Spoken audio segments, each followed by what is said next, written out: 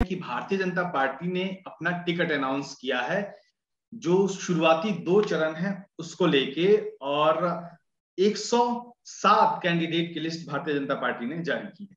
Bharatiya Janata party की सीटों की बात हम इसलिए कह रहे हैं क्योंकि ये पूरा जो चुनाव है, ये कहीं ना कहीं इसमें जो दलित तबका है, ओबीसी तबका है, एक बार फिर से इतनी महत्वपूर्ण, इतना महत्वपूर्ण होकर उभरा है, जिसको समझना और समझाना बहुत ज़रूरी है। भारतीय जनता पार्टी ने जो 107 कैंडिडेट की लिस्ट घोषित की है, इसमें पहले और दूसरे चरण की सीटें हैं, और इसमें से 44 सीटें ओबीसी को दी गई हैं टिकटें, और 19 सीटों पर दलित कैंडिडेट को उतारा गया है, और जो 107 सीटें हैं, अगर उसको हम डिवाइड करें तो ये तकरीबन 60 परसेंट सीटें हैं, और भारतीय जनता पार्टी लगातार ढिंढोरा पीट रही है कि वो 60 परसेंट लोगों को उसने एससी और एस ओबीसी को मतलब बहुजन समाज को टिकटें दी हैं, प्रतिनिधित्व दिया है। क्या भाजपा और भारतीय जनता पार्टी यह भी कहकर प्रचारित कर रही है और मीडिया रिपोर्ट्स आ रहा है कि कल्याण सिंह ने जो फॉर्मूला अपनाया था 91 में, या फिर यूपी का इंचार्ज रहने के दौरान, अमित शाह ने जो फॉर्मूला अपनाया था बीजेपी पर, फिर से उसी फॉर्मूले पे चल पड़े क्या इसका फ़र्क पड़ेगा ज़मीन पे? हमारे साथ है इस चर्चा में सतीश प्रकाश जी और लक्ष्मण यादव जी, दोनों लोग सुलझे हुए व्यक्ति हैं, राजनीतिक समझते हैं और राजनीतिक विश्लेषक हैं और बहुजन समाज की राजनीति और बहुजन समाज की जो मनोदशा है, उसको बेहतर तरीके से समझते हैं, उसके बीच में रहते हैं। सतीश जी, जाति अहम हो गई है और सारा खेल जातियों का दिख रहा है। हम माने या ना माने, कितनी भी विकास की बातें करें, आखिर में भारतीय राजनीति आके जाति की सुई पे अटक जाती अभी भी वही खेल हो रहा है। बीजेपी कह रही है कि हमने इतने लोगों को ओबीसी को टिकट दिया, इतने एससी को टिकट दिया। समाजवादी पार्टी इस मुगालते में है कि हमारे पास इतने ओबीसी लोग आ गए नेता छोड़ के बीजेपी से, इतने एस आ गए तो हम लीड कर लेंगे। यहाँ पे तीन चीज़ें हैं मुख्य रूप से। एक तरफ़ भारतीय जनता पार्टी है जिसका नेतृत्व तो सवर्ण वर्ग के हाथ में है। दूसरी तरफ़ समाजवादी पार्टी है जिसका नेतृत्व तो पिछड़े वर्ग के हाथ में है।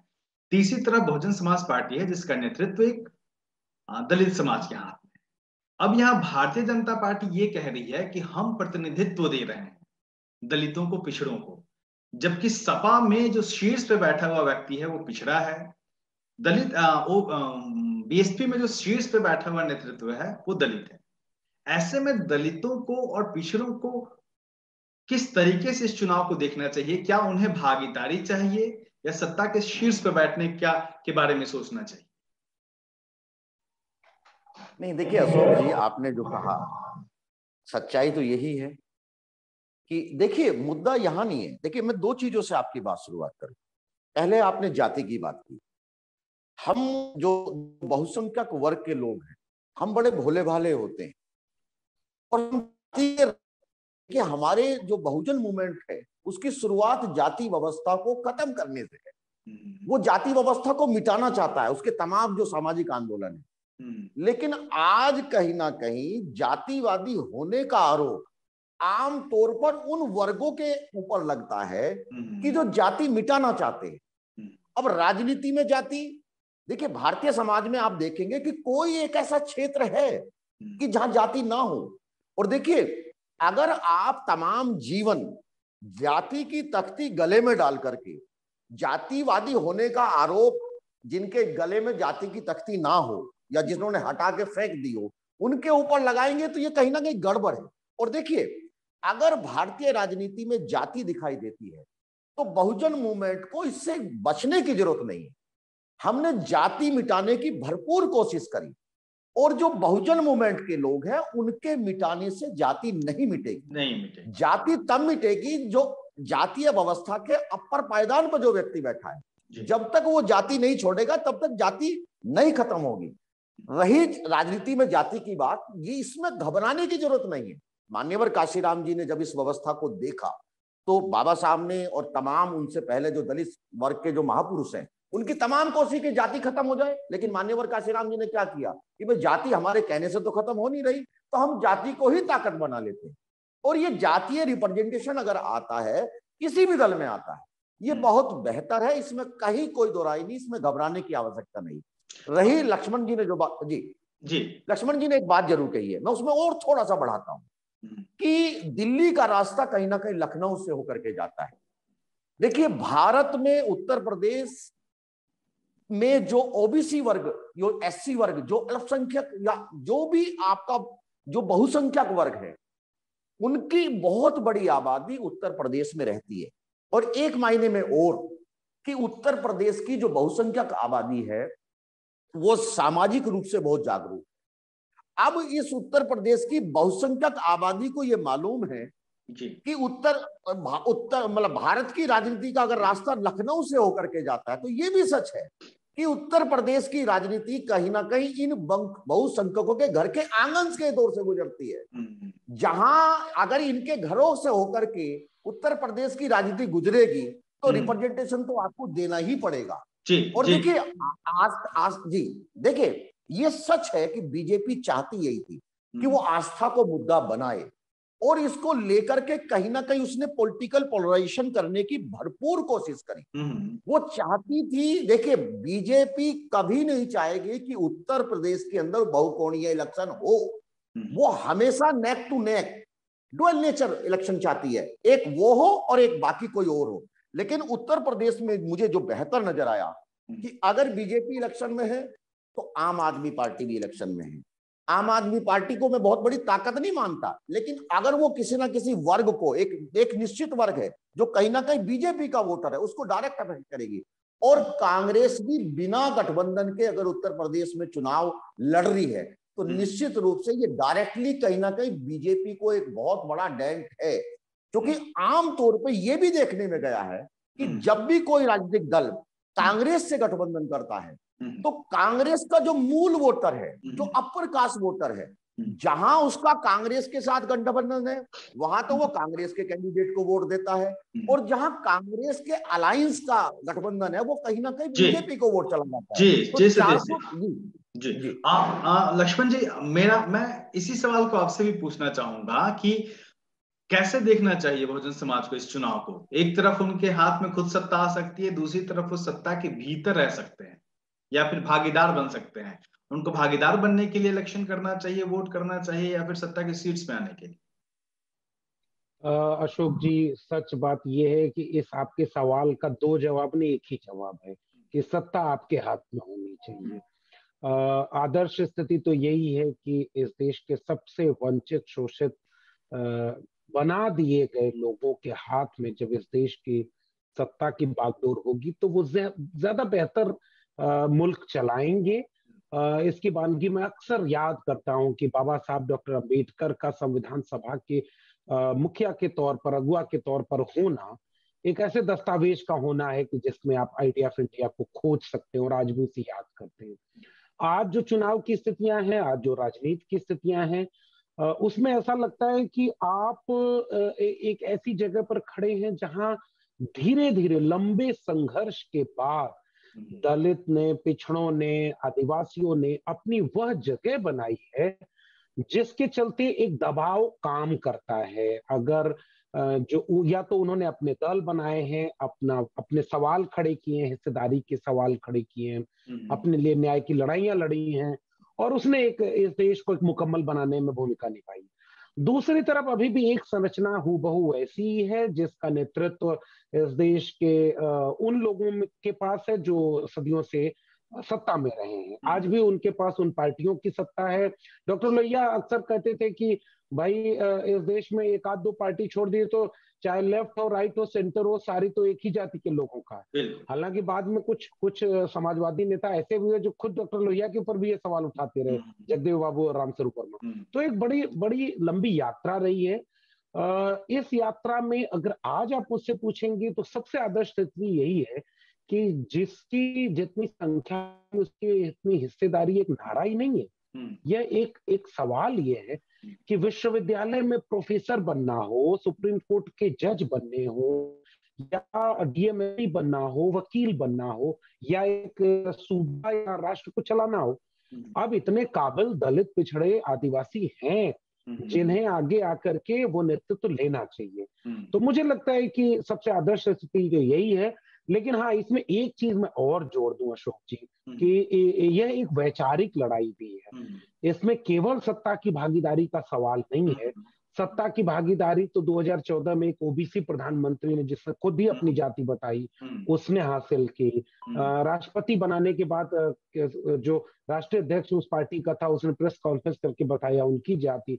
अभी गोरखपुर में जाकर के खिचड़ी मनाई जा रही है और कहा जा रहा है कि दलित भाई के साथ बैठ के खाना खा हम्म, ये वाली हिस्सेदारी मुझे थोड़ा असहज करती है। ज़्यादा अच्छी हिस्सेदारी वो हो जहाँ आप निर्णय ले सकते हैं। जहाँ तो आप अपने हक हकूक में बोल जी इसमें इसमें एक सवाल ये आता है लक्ष्मण जी मैं आप ही से पूछूँगा कि दो तरह की जैसे आ, कहा जा रहा है भारतीय जनता पार्टी की तरफ़ से या फिर तमाम तरफ़ से रिपोर्टें आ रही है कि बीजेपी वो कोशिश कर रही है कि जो गठबंधन जातियों का कल्याण सिंह ने बनाया था या फिर जो अमित शाह ने बनाया था उसको लेके आने के लिए। तो यहाँ पे दो तरह की बातें आती हैं। एक तरफ़ तो बहुजन समाज का वो तबका है जो लोहियावादी है जो समाजवाद में यकीन रखता है जो अम्बेडकरवाद को मानता है जिसने काशीराम जी को भी पढ़ा है।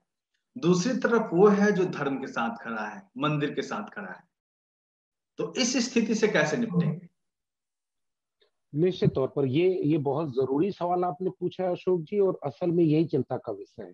इसीलिए मैंने जो पिछले जवाब के आखिर में जो बात कही थी ना वहीं से फिर इसको जोड़ देता हूँ।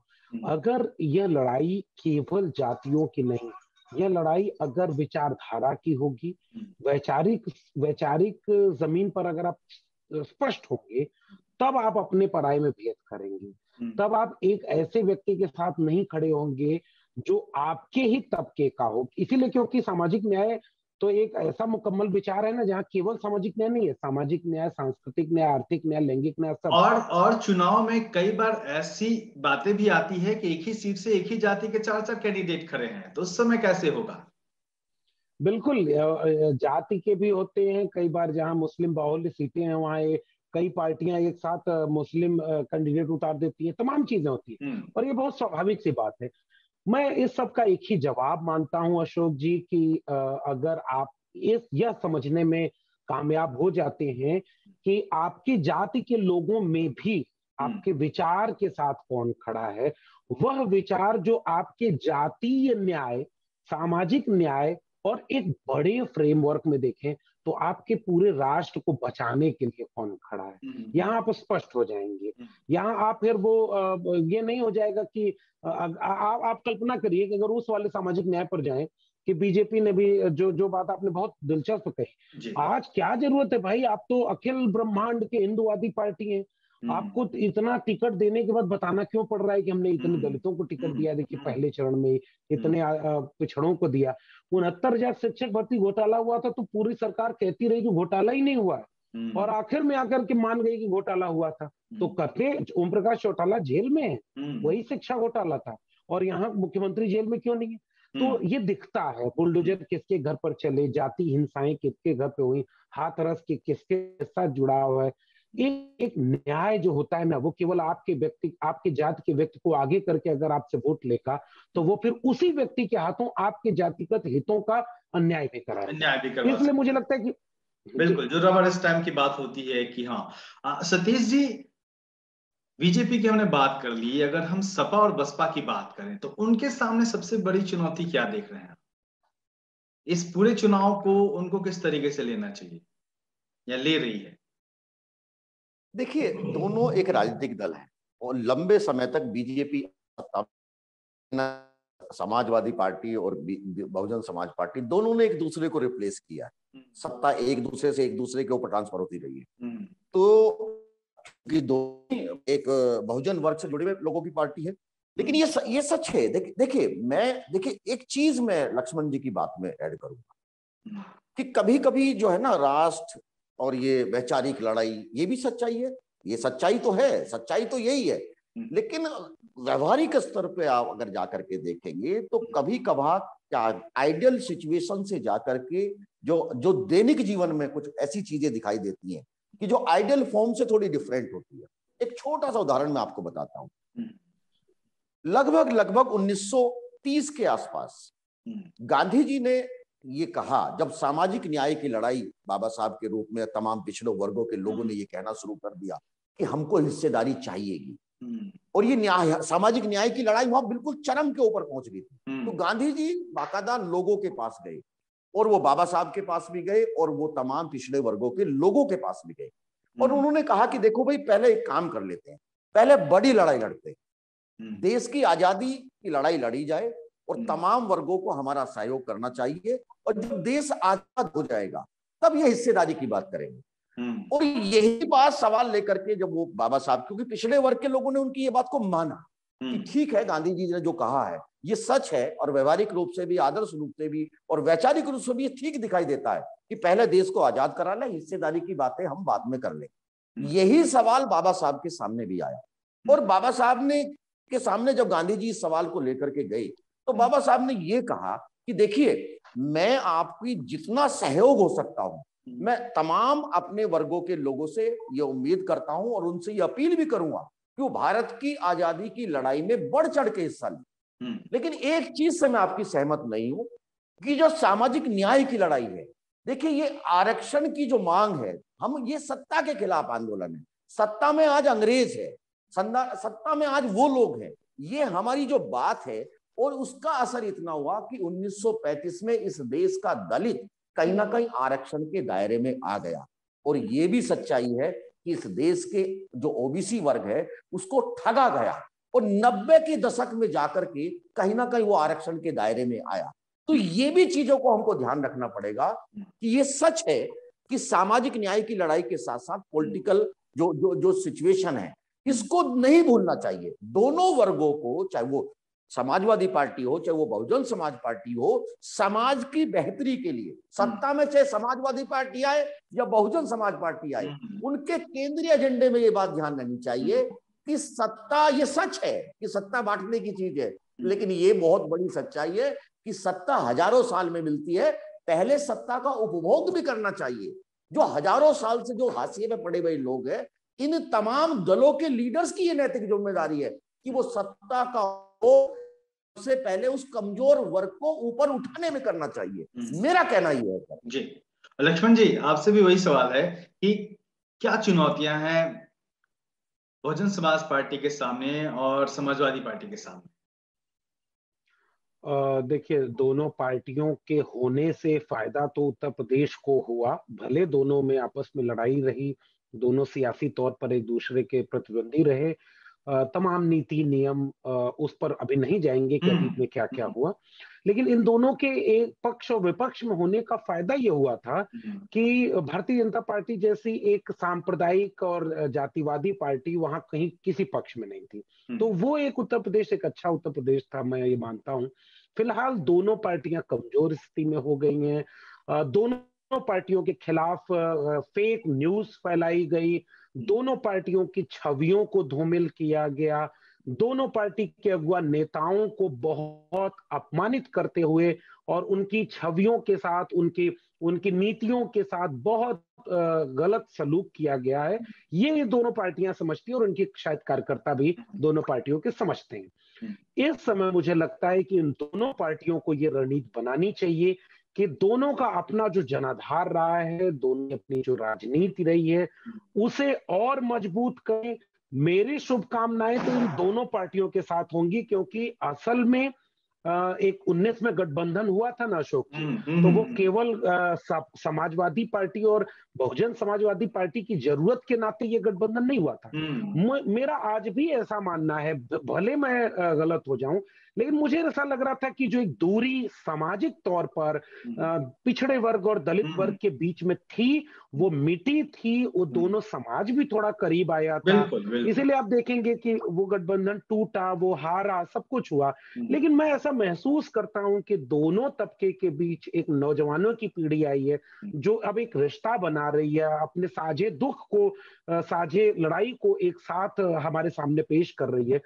वो, वो मुझे ऐसा लगता है कि हिंदुत्व के सामने सबसे बड़ी चुनौती भी ये दोनों पार्टियाँ पेश कर सकती हैं ये। दोनों पार्टियाँ वंचित शोषित तबके का नुमाइंदगी करती हैं अतीत में जो गलतियाँ हुई उनसे सीखें बेहतर काम करें और मैं आ, अपने साथी के वक्तव्य से सहमत हूँ कि अगर आप सत्ता में नहीं होंगे हम्म। तो आप न्याय की लड़ाई भी नहीं लड़ पाएँगे आप अपने लोगों के लिए कुछ बेहतर भी नहीं कर पाएँगे एक तरफ़ झूठ का प्रोपेगेंडा है, एक तरफ़ नफरत खड़ी है, दूसरी तरफ़ सपा हो या बसपा हो, दोनों मोहब्बत पे खड़ी पार्टियाँ हैं, वंचित लोगों की सवालों को जुड़ती हैं।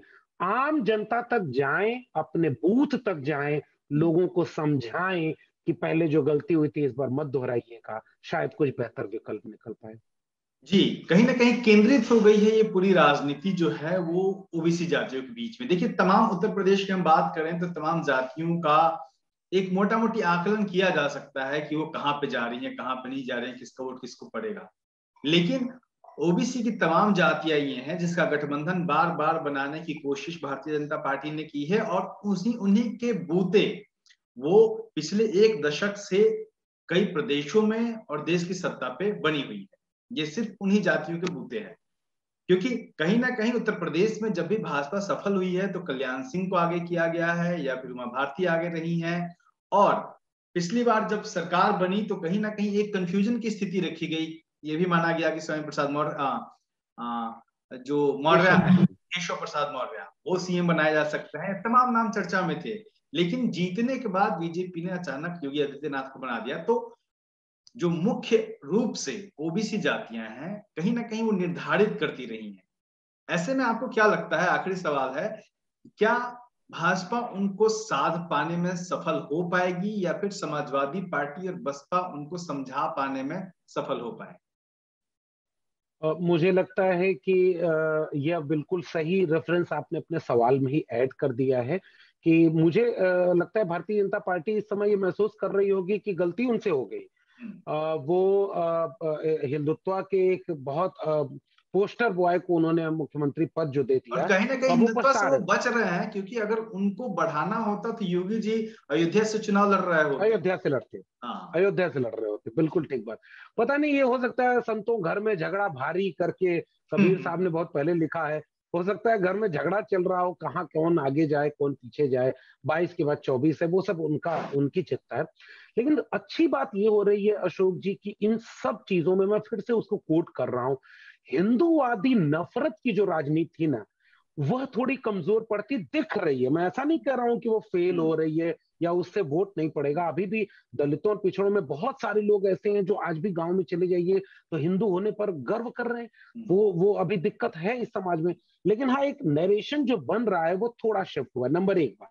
नंबर दो बात ये कि आपने बहुत अच्छी बात इसमें जोड़ी कि पहले वो लोग क्या करते थे ना इन्हीं दलित पिछड़े लोगों के बीच से कल्याण सिंह को तो पिछड़े जाति के कल्याण सिंह थे हम्म। उमा भारती कहाँ से आती ये सब लोग जानते हम्म। उन्हीं को आगे करके अपने एजेंडे पर काम करवाते थे हम्म। पूरा मस्जिद तोड़वाना बाबरी मस्जिद को ध्वंस कल्याण सिंह अगुवाई में और कोई हीरो नहीं बने कल्याण सिंह की बाद में क्या हर्ष हुआ ये सारे लोग जानते हैं हम्म।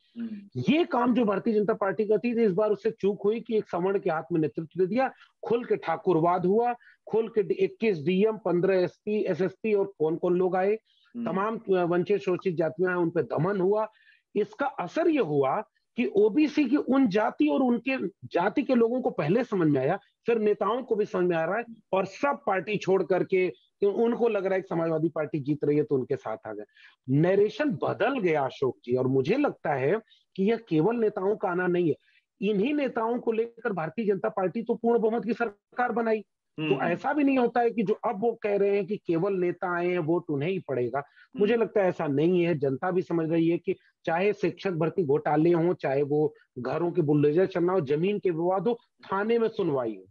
वहाँ से लेकर के ये जो साढ़ खेत खेत में घूम रहा है ना ये ओबीसी जातियाँ सबसे ज़्यादा खेती बाड़ी में काम करती हैं। हम्म। तो वहाँ उनका कंधा बने मौर्य जी कंधा बने स्टूल मिला हम्म। पटेल साहब है प्रदेश अध्यक्ष है दस साल के बच्चे का पैर धुल रहे थे। यही आप करवाना चाहते हैं वहाँ पर दलित पिछड़े को ले जाकर और दलित पिछड़े घरों में भी लोग ये समझने लगे हैं कि ये अन्याय आपके साथ हुआ है। तो मेरी उम्मीद ऐसी है कि जनता के स्तर पर ये लोग समझेंगे कि आपका इस्तेमाल किया गया हिंदुत्व के लिए आपका इस्तेमाल किया गया मंदिर और ये सब के लिए।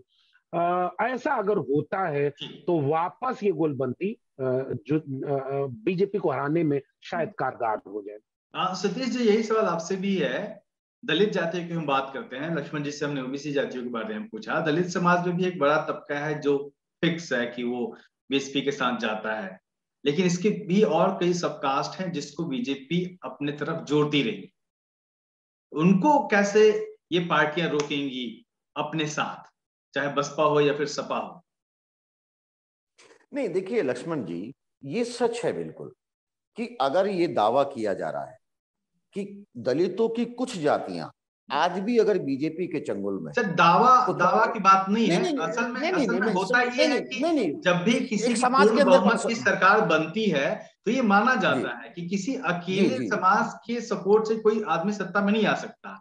तो जब किसी की बहुमत इतने बनती है तो कहीं ना कहीं एक सपोर्ट बेसिक होता है। जी। जी।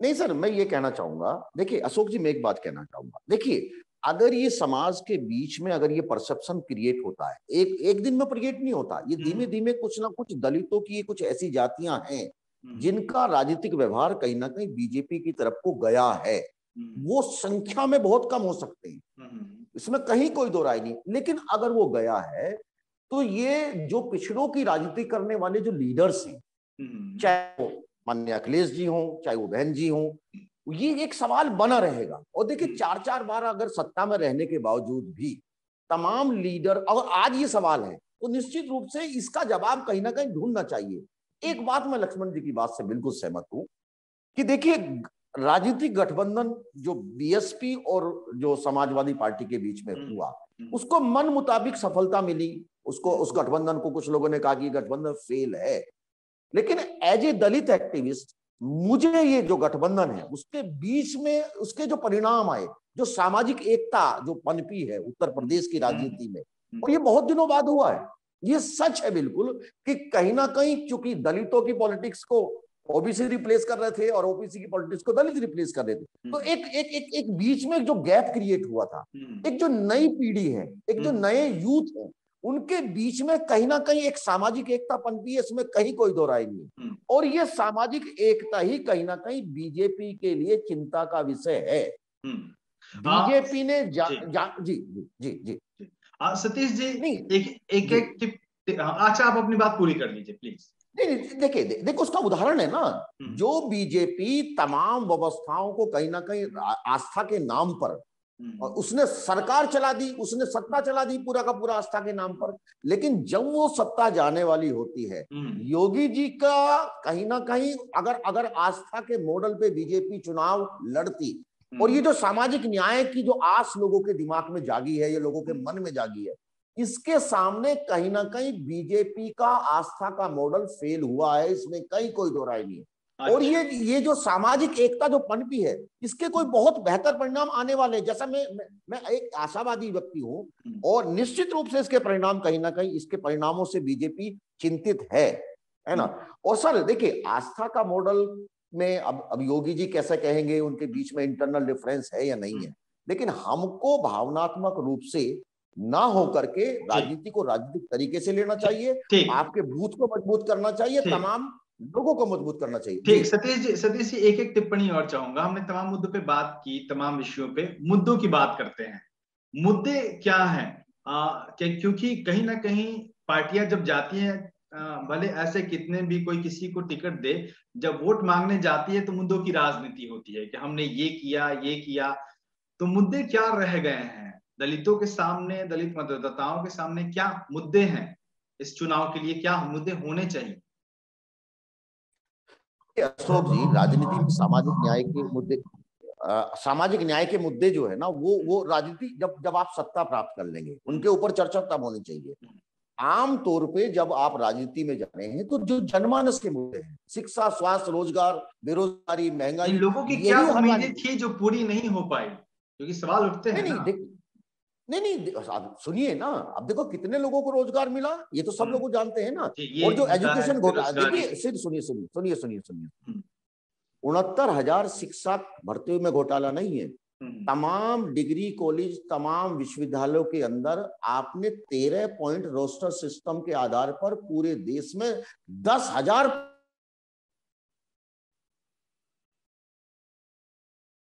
घोटाला किया है तमाम वे हॉस्पिटल जो लोग आपके लोग चला रहे थे जो बीजेपी के लोग चला रहे थे आगरा में जो जैन साहब का जो हॉस्पिटल बंद हुआ है जो जो जो पाँच मिनट में ये चेक करता है आजकल वो जेल से बाहर है आजकल हम्म। जमानत में है वो व्यक्ति तो हम्म। मेरा कहना ये है कि जब आपके हाथ में सत्ता आए हम्म। देखिए जैसे ही अगर सपा की सरकार आएगी तो एक जाति विशेष को लेकर के तमाम बीजेपी टिप्पणी करती है अगर बहुजन समाज पार्टी की सरकार आएगी तो वो जो स्मारक है या उनको घोटालों की बात करती है आ, आपको आ, आ, आ, आ, आप देखिए कैसे कैसे घोटाले तय होते हैं। ये इन लीडर्स को ध्यान रखना चाहिए। एनएचआरएम घोटाला स्वास्थ्य घोटाला वो चौदह मेडिकल कॉलेज अगर बहुजन समाज पार्टी की सरकार में ना बनते तो ये कोरोना महाकाल में कैसे कैसी हालात हो जाती? मेरा कहना ये है कि तमाम जो अल्पसंख्यक या जो बहुसंख्यक वर्ग के जो लोग हैं हम्म। उनके नेताओं को जो छवि अगर उनकी छवि के ऊपर चोट आती है या कहीं से भी कोई प्रहार आता है उनको छवि के ऊपर डेंट नहीं लगने देना चाहिए। हम्म। उसका खुल के सामना करना चाहिए और निश्चित रूप से क्योंकि देखिए झूठे आरोप लगते हैं। झूठे आरोप लगाने में एक्सपर्ट है इसमें कहीं कोई दोहराएँगे केंद्र की कांग्रेस सरकार के ऊपर यही बीजेपी का एक संगठन था जिन्होंने आरोप लगाए टू जी स्पेक्ट्रम घोटाला नहीं हुआ। हम्म। ये ये सर्वोच्च न्यायालय ने कह दिया। लेकिन विनोद राय कहा है? जब कैग के वो चेयरमैन थे तो उन्होंने कहा कि घोटाला हुआ है। और वो उसके बाद में ऐसा व्यक्ति जाकर के चीज़ होती है तो कहीं ना कहीं वो क्रिकेट और तमाम चीज़ों को प्राप्त कर लेते हैं। मेरा कहना ये है सर कि संक्षेप में सतीश जी। हाँ सत्ता पाना इतना महत्वपूर्ण नहीं है। सत्ता का उपभोग करना सीखना चाहिए। जी। लक्ष्मण जी मुद्दे क्या है? इस समाज के सामने बहुसंख्यक समाज के सामने मुद्दे क्या होने चाहिए वोट डालने से पहले? किस तरीके से पूरे पाँच साल को देखना चाहिए? मुझे लगता है कि उत्तर प्रदेश की जनता देश के उन थोड़े से लोगों में है जिसकी सियासी समझ मज़बूत होती है आम गाँव मोहल्ले चौराहे से लेकर के हर व्यक्ति आपको अमूमन मिलेगा जो राजनीतिक रूप से सजग है हम्म। वो अच्छे से जानता है कि अगर उसके घर में जो केरोसिन तेल सरसों का तेल था हम्म। वह वह महँगा हो गया दो सौ तीन सौ रुपए तक जा रहा है पेट्रोल सौ रुपए हो गया एक हज़ार रुपए एलपीजी गैस हुई उज्ज्वला गैस की जो जितने सिलेंडर थे वो दोबारा भरे नहीं जा रहे थे। पाँच किलो यूरिया कम हो गई और दाम उतना ही रहा। हम्म। सिंचाई महँगी हो गई बिजली महँगी हो गई। जो यूरिया समय पर मिलनी चाहिए थी खेती किसानी में वो नहीं मिले। जो छोटे उद्योग हैं वो बर्बाद हुए बहुत तेज़ी से पूरी अर्थव्यवस्था कोलैप्स हुई और गाँव गाँव में जाके देखिए ना जो राजमिस्त्री हैं या जो मजदूरी करता वर्ग है हम्म। उसके लिए कोई स्कीम नहीं हुई इसीलिए क्या हो रहा है ना इस समय उस पूरी जनता को जिसके थाली में अन्न नहीं है चूल्हे पर रोटी नहीं जल रही है उनके घर नमक साबुन और मुफ़्त में अनाज जिसकी अंतिम समय सीमा मार्च और अप्रैल 2022 से जैसे चुनाव खत्म होगा पता नहीं ये सारी योजनाएँ आगे चलेंगी कि नहीं खत्म ही हो जाएँगी। उन सब पर बड़ी बड़ी तस्वीरें लगाकर प्रचार किया जा रहा है। अंत में क्या किया गया? वो जो सबसे कमज़ोर बना दिया गया था ना वो श्रमिक वर्ग वो मजदूर वर्ग वो किसान वर्ग वो दलित और पिछड़े लोग हैं। नाइन्टी नाइन परसेंट वो दलित और पिछड़े हैं। तो ई श्रम कार्ड बना करके पाँच सौ रुपया और हज़ार रुपया घर भेजा जा रहा है। ये सारा क्या हो रहा है? ये घूस दिया जा रहा है। हम्म। पाँच साल में जब आपको मौका मिला था तो आपने नीतियाँ तो ऐसी नहीं बनाई कि हम्म। जो श्रमजीवी कमेरा हम्म। वो तो मेहनत करके कमा लेती। पैसा देने की ज़रूरत क्या थी? आपने उन्हें कमाने नहीं दिया। इसका मुझे लगता है असर इस पूरे बृहत्तर परिदृश्य में देखें तो शिक्षा से लेकर रोज़गार तक महँगाई कमाई सिंचाई दवाई कोरोना का जो महामारी थी वो भी लोग भूले नहीं है। तो ये सब कुछ जो मुद्दे हैं मुझे लगता है कि उत्तर प्रदेश की जनता बखूबी इन्हें समझ रही है। हम्म। इसीलिए अभी अयोध्या झांकी मथुरा काशी बाकी कहने वाले भूल गए इस समय। वो हम्म। टिकट देकर जातियाँ बता रहे नहीं नहीं हम आपके लोगों को मुख्यमंत्री हो सकता है कुछ दिन बाद कह दें कि आपकी मुख्यमंत्री भी आपकी जाति का बना देंगे हम्म, ये वो लोग हैं जो कई ये बहरूपीय लोग हैं इसलिए मुझे लगता है कि जनता इन मुद्दों पर वोट देगी और मुझे लगता है गाँव में लोग इस पर बहस करते हैं हम्म। कि ये हमारे मुद्दे हैं इस पर वोट देंगे और अगर इस पर वोट पड़ता है तो ये देश ही नहीं प्रदेश ही नहीं हम सब की पीढ़ी के लोगों के लिए एक अच्छी खबर हो सकती है जी, बहुत बहुत धन्यवाद आप दोनों का। काफ़ी चीज़ें साफ़ हुई और निश्चित तौर पे जो आने वाला चुनाव है, उसमें जो बड़ा एक सवाल बना हुआ है कि भाई, आपको सत्ता में भागीदारी चाहिए या फिर सत्ता चाहिए? ये सबसे बड़ा सवाल है और उसके बारे में तमाम वर्गों को सोचना होगा और कितना रोज़गार मिला, क्या महँगाई की स्थिति है वोट डालने वक्त ये चीज़ें ज़रूर ध्यान में रखनी होगी। आप देखते रहिए दलित दस्तक। आप दोनों का बहुत बहुत धन्यवाद। जय भीम।